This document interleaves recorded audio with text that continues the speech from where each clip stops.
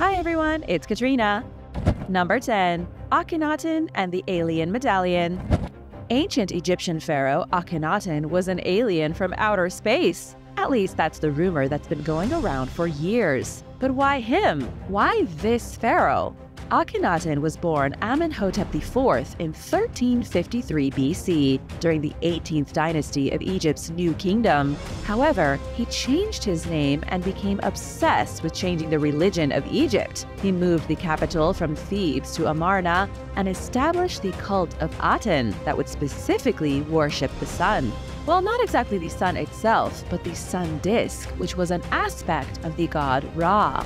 Ra was to be the one and only god, and from one day to the next, every Egyptian was to give up all the ancient gods and worship only one. He disrupted thousands of years of Egyptian tradition, and everyone hated him. He caused much civil unrest, although his beautiful wife Nefertiti stuck by him, as was her duty. But he was, in the eyes of his own people, a heretic and probably a madman.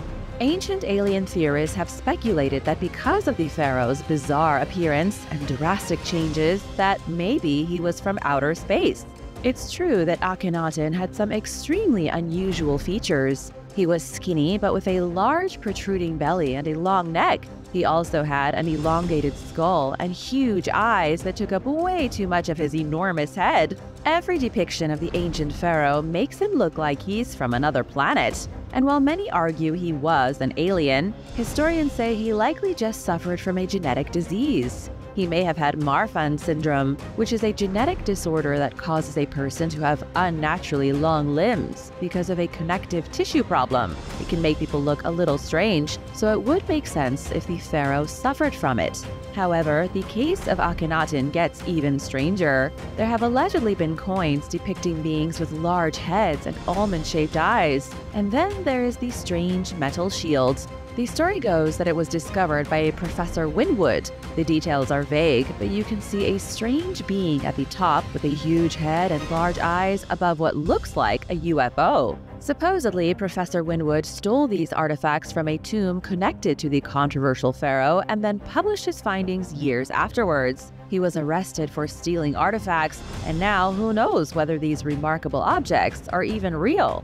The scientific conclusion to this convoluted story is that Egypt was ruled primarily by incestuous families, and that was why they looked so much like aliens. What do you think about this mysterious pharaoh Akhenaten? Let me know your thoughts in the comments.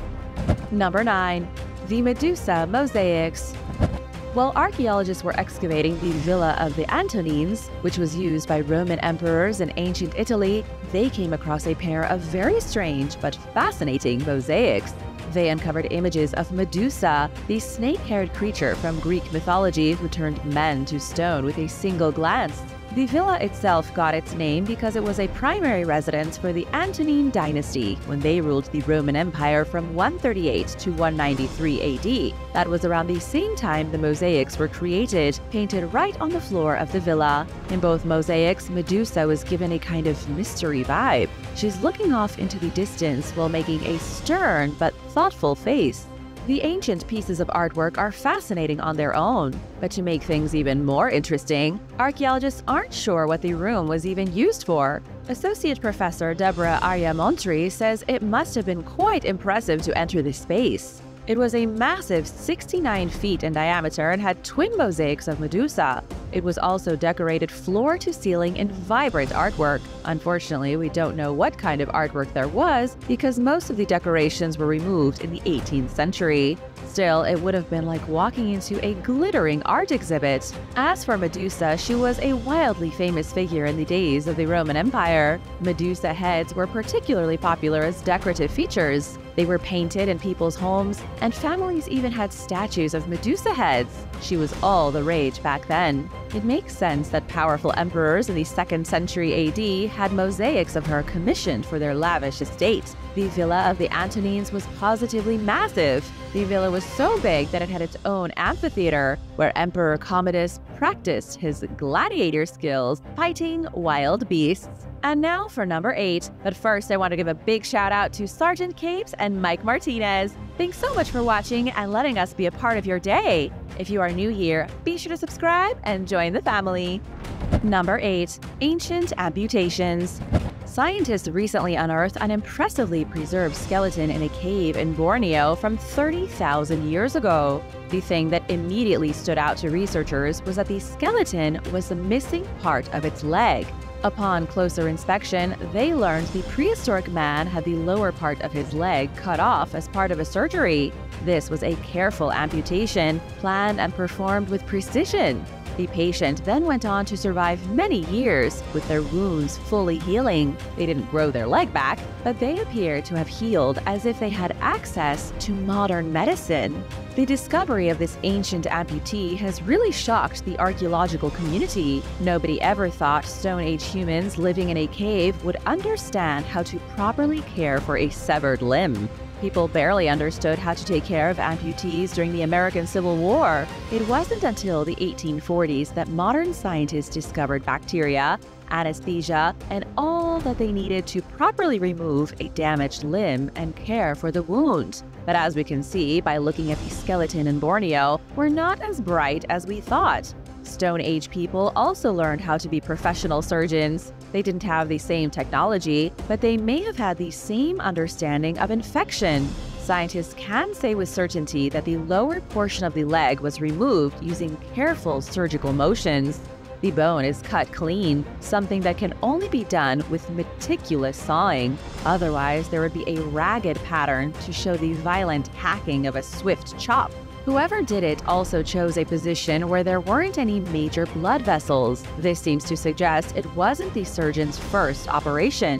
There's also no evidence that the bone became infected, so they must have had the proper herbs to clean and maintain the wound. The conclusion here is that Stone Age humans were a lot smarter than we give them credit for. It also seems they understood the concept of infection, which paints these ancient humans in a completely new light.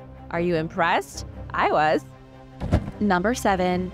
The Capuchin Crypt the Capuchin Crypt is one of the creepiest places in Europe. The crypt itself is very small, consisting of a few tiny chapels underneath the Church of Santa Maria della Concezione dei Cappuccini in Rome. The crypt contains the disturbing skeletal remains of 3,700 people. The bodies are believed to belong to Capuchin friars that were buried by the religious order centuries ago. However, the display was never meant to be a horror show like it's treated today. The friars wanted the display of bones to be a silent reminder of mortality and the swift passage from life into the afterlife. Whatever the original intent was, the crypt is now a tourist attraction. People call it the Bone Church of Rome because it's decorated with thousands of human bones. There are bones dangling from the ceiling, tacked to the walls, and placed everywhere as pieces of decor. There are even mummified arms strewn about the chapel. It was only in 2012 that the city finally added a museum to explain the morbidity. The museum explains all about the Order of Friars Minor Capuchin, which was established in the early 16th century as a group of reformists. They devoted themselves to solitude and penance and grew to be a very powerful order in the Catholic Church. They built their bone ossuary between 1626 and 1631. And at the time, nobody thought putting skulls on the wall was gross or goth. In 1631, when the friars moved in from their old monastery, they bought 300 carts of dead bodies. You heard that right. They literally purchased 300 entire cartloads of corpses. They then got to work arranging them in the burial crypt, which was blanketed in soil brought all the way from Jerusalem. Then, whenever a friar died, they were buried in the holy soil without a coffin, and they typically spent about 30 years decomposing. Then, when the patch of soil was too crowded, the oldest friar would be exhumed and their bones would be arranged on the walls. The Capuchins would pray every single night in the Bone Chapel. In total, this place contains the bones of about 4,000 dead friars, all of whom perished between 1528 and 1870. Have you ever been here or would you like to go? Let me know in the comments. Number 6. The Egyptian Buddha Egypt has just made one of the most shocking discoveries in its entire archaeological history. A mission headed by Polish and American archaeologists uncovered a statue of the Buddha in the city of Berenike. This is astounding because it's the first statue of Buddha ever found in Egypt. It was located at the edge of the Red Sea, likely brought into the country during the Roman era. Mostafa Waziri, the Secretary General of the Supreme Council of Antiquities, announced the discovery. And since 1994, the archaeological mission has been hard at work excavating the site. Berenike is an extremely old city founded in 275 BC by the Egyptian king Ptolemy II. He established it as a major shipping port on the coast and named the city after his mother, Berenike I. The real reason for a new coastal city was that King Ptolemy was in desperate need of elephants. He was fighting a war against the Seleucids and used elephants as war machines. Berenike was built specifically so the king could obtain more elephants at a faster pace. The port was built in a natural harbor where it was protected, and it soon developed into much more than an elephant deposit center. People were trading spices, textiles, frankincense, pearls, and other luxury goods from around the world. The city continued to develop until it was suddenly abandoned around 200 BC. Experts think the city was hit by an unexpected volcanic eruption, which decimated the landscape and frightened the locals into leaving their homes. They did eventually come back, and the city prospered once more, but there was a brief time it was completely empty. Now, archaeologists have found an Egyptian first in Berenike. The statue of the Buddha appears to be made from stone quarried south of Istanbul, but it may have been carved in Egypt. It might have even been part of a Hindu temple built by wealthy Indian merchants. This is a big shock because nobody expected to find a Hindu temple in Egypt, yet that seems to be what's happening. Head of the U.S. mission, Stephen Sidebotham, says his team found an inscription in Hindi at the temple. It makes you wonder how many ancient temples were found in Egypt that were really dedicated to gods from other cultures. Just like so many cities today, Berenike was a melting pot. Number 5. The Red Stone Stonehenge might be the most famous monument in England, but it's not the most impressive. The largest and most overlooked standing stone in all of Britain is the Redstone Monument, a single piece of rock that stands 25 feet high and weighs 26 tons. The monument was created from grit stone harvested at Cayton Bay, which was then dragged about 10 miles to where it still stands today. Did that just rhyme? It was then excavated by Sir William Strickland in the 18th century, a man who was a firm believer that the monument extends much deeper underground than anyone realizes. However, he worried that digging directly beneath the monument could threaten its stability, and so the monument remains untouched. What's even stranger about the Redstone Monument is that it's standing in a churchyard. It was originally constructed sometime in the late Neolithic period, between 4500 BC and 2200 BC. On one side of the stone is what appears to be a fossilized dinosaur footprint, although this has never been verified. There is also another stone in the churchyard, but the second standing stone is smaller and isn't nearly as impressive as the Redstone. The whole site is extremely bizarre.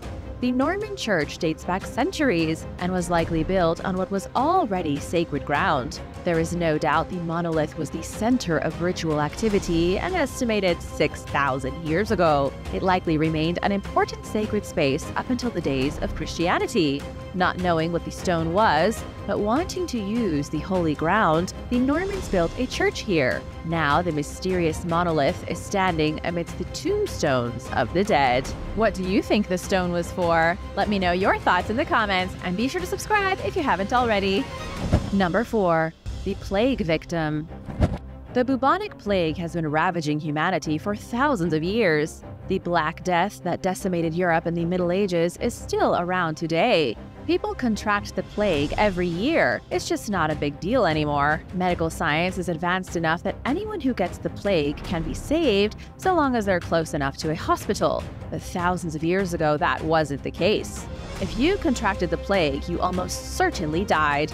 That's exactly what happened to the world's very first known plague victim. A team of Latvian and German researchers recently identified the oldest known strain of the plague bacteria, Yersinia pestis. They found it in the body of a hunter gatherer who lived in Latvia 5,000 years ago.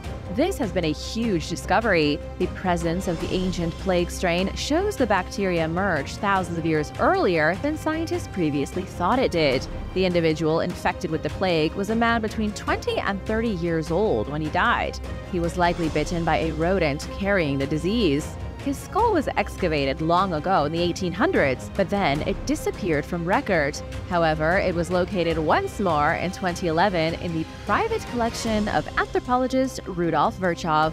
Only recently were scientists able to properly study the remains.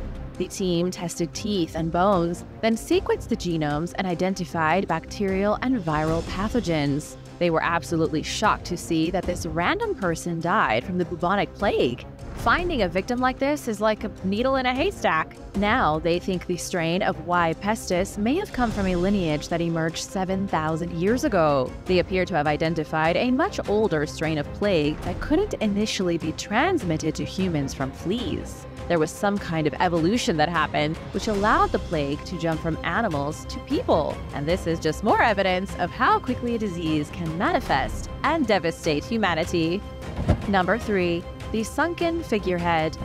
Off the coast of Texel Island in the Dutch Wadden Islands, a shrimp boat made an unexpected discovery. An impressively preserved figurehead from an ancient ship was caught by accident by the crew of a shrimp boat.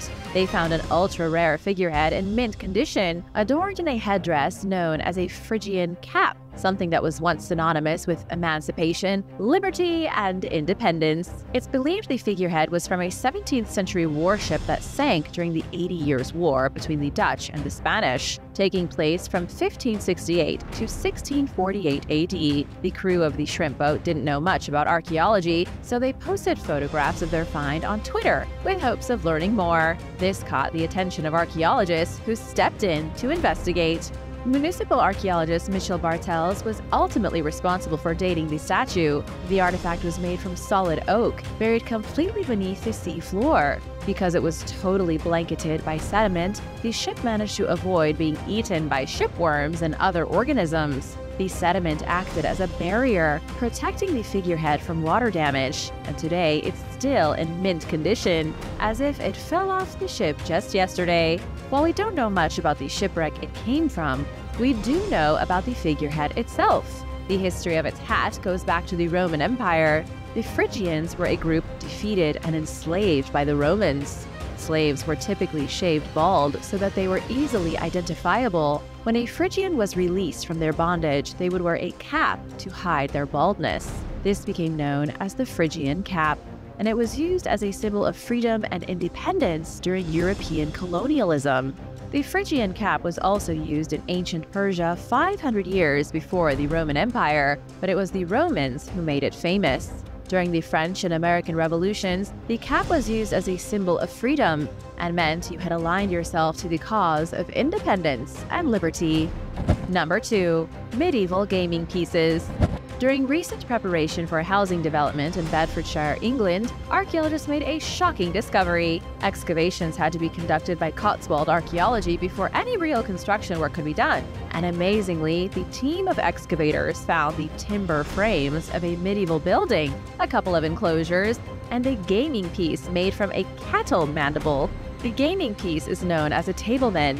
These carved pieces were used to play a variety of board games throughout the Middle Ages, but they were typically used in dice games. Two players would roll the dice and then move their pieces across the game board, fighting and trying to reach the other side first. The word tables comes from the Latin word tabula, brought to England during the Roman occupation 2,000 years ago, and this is where we get the words tabletop and board game.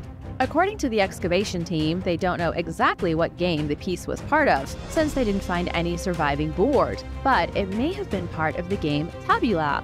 Tabula was a lot like modern backgammon, and likely came from the even older game Ludus Duodecim Scriptorium, or the game of 12 markings. This was a game where each player was given 15 pieces and 3 cubic dice. It was a primitive version of backgammon that became common in the 11th century AD. Any backgammon players out there? Let me know in the comments. Number 1. Protection from zombies. Belgian archaeologists in Turkey were excavating the ancient city of Sagalassos when they uncovered the tomb of a mysterious person from the 2nd century. This was during the Roman age when Sagalassos was a Roman city. The tomb wouldn't have been that mysterious if it weren't for the two dozen bricks that sealed it shut and the additional layer of plaster. The tomb was encased in such a way to keep the dead inside forever, but anybody on the outside could have easily smashed through the layers of bricks. Researchers also found over three dozen bent nails sprinkled along the edges of the tomb. These were used as magic totems, part of a spell to keep the dead person trapped in their tomb for the rest of eternity. The locals weren't just worried about a body being reanimated from the dead, they thought the cremated person could reanimate their soul and slither out of their grave. The only way to stop them was to wall off their tomb and barricade it with magic talismans. Johan Claeys, an archaeologist from Belgium, said the burial was closed off with three different ways to trap the dead. There was the wall of bricks, the cremation itself to destroy the body, and the magic talismans to prevent the escape of the spirit. Whoever this villain was, they must have been considered dangerous. Archaeologists have found plenty of graves sealed with bricks and plaster. This was fairly common all the way through the Middle Ages because people believed in zombies. Archaeologists have also found graves that used magical sealing methods like bent nails, but never before has Johan Claeys ever heard of a grave using all three methods simultaneously. Whoever this person was, he or she must have terrified the local townsfolk to their very cores. What do you think this person did to be given such an extreme burial? Let me know your thoughts in the comments. And if you enjoyed this video, give us a like and subscribe. See you next time. Bye!